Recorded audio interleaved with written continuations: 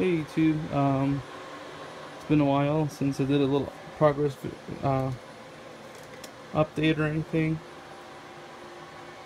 Uh, got a lot of new things added, servers up and running, and new additions. But we have a new switch to replace. I know a lot of people have been dogging on the Dell switches, but I have received those. I've received two of them. One of them I'm selling selling now, but yeah, end of story. I'm going to be selling all the Dell switches for a pretty good price. That Power Ethernet 6248, which is right here, so it's still going for the hefty price that it's going because of the PoE. But uh, we do have a new addition. I'll be getting one more Cisco, a 24 port for the house side, but this is a 2960G Catalyst. And this will be for all the servers and it's gonna be more for the backbone of the network. So we're gonna get this configured nicely. It came with uh, mounting brackets, power supply, console cable, everything needed. Might use these SFP, SFP ports for some stuff, we'll, figure it out, we'll see. But I gotta have to get it configured. I'll have to refresh myself on uh, Catalyst switch, trying to configure it. Configured my Dells before, but not this one yet. So it'll be fun. Um, a lot of people have been asking what I'm doing with this. I will be probably selling two of them, and there is almost all around. Let's see, these are all four gig sticks, I believe. Yeah, I think there's like 20 of them around here, something like that. So there's around 80 gigs of RAM. Someone really wants one with fully loaded with that much RAM, I could sell it. But you guys are gonna pay the hefty price for what it's gonna be. I think it's like six hundred dollars with uh, like 64 gigs of RAM. So I'd probably say the 90, 92 gigs of RAM would be probably around 700 with drives and everything. And I could preload VMware for you guys if you guys, someone's really interested in buying one of these servers. But I'm going to keep one 710 just for like testing and stuff. Because uh, I like to have one. And there's some uh, CPUs here.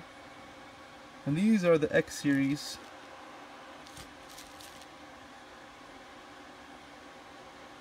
Intel. Nope, these are the E7540s from the R810s. So yeah, just a little update.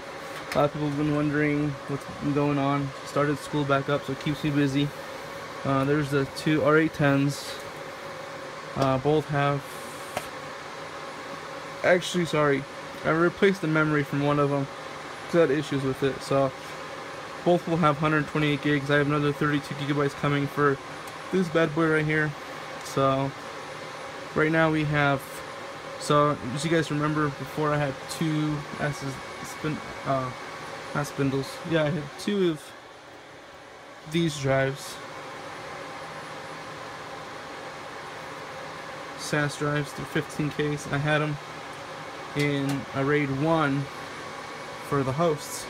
So now I replaced these with two 50 gig Intel SSDs. And I mean, it's like a flash drive, really is. I mean, I don't have a big enough flash drive, but for the logging, I might as well just like, what the hell. It's just a solid state. And this is a big solid state. This one runs my vCenter, my VMware vRealize, it runs my orchestrator. So this is a 480 gig partition. And I'll show you guys the settings.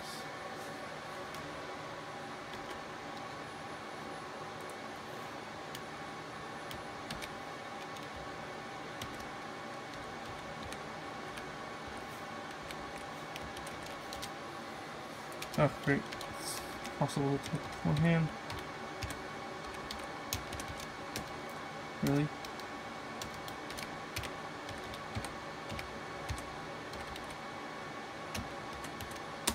Okay.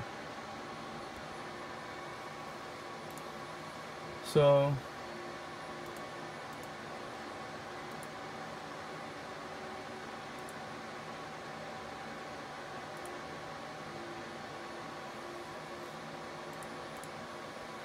So here we go. We have 131. It reads, just, technically it's 129 something, but VMware reads it and allocates it to 131. So there's the FreeNAS storage array, and there's a 50 gig. It says not an SSD because Dell PERC R710s do not have pass-through, so you guys can't will not see solid state, but it is a solid state. And, and this is the server I'm talking about, the memory. Since I already have uh, memory in it, I just need to put more in it to make it even out to 128. Will be the same as the other one. But um, here we have the FreeNAS, direct attached storage, 5 terabytes, and here is the 480 gig solid state Kingston. Uh, I think it's Kingston, or yeah, it's a Kingston, and it has all my VMware stuff. So yeah, let's. I mean, if you guys want to see how fast it loads up, close it out, open it up, new tab.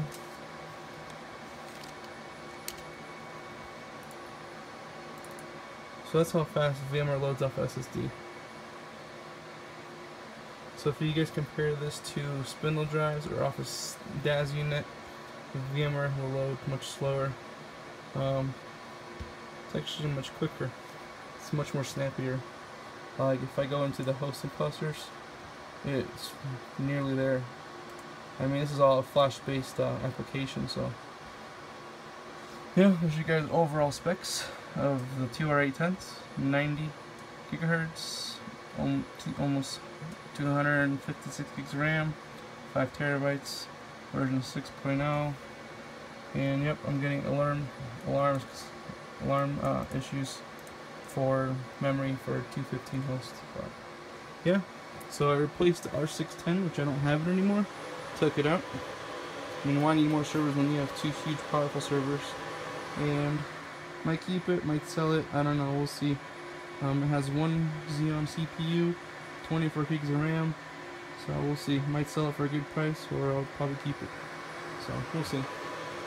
But yeah, there's a little update. So once I get the second switch, we're gonna reorganize everything.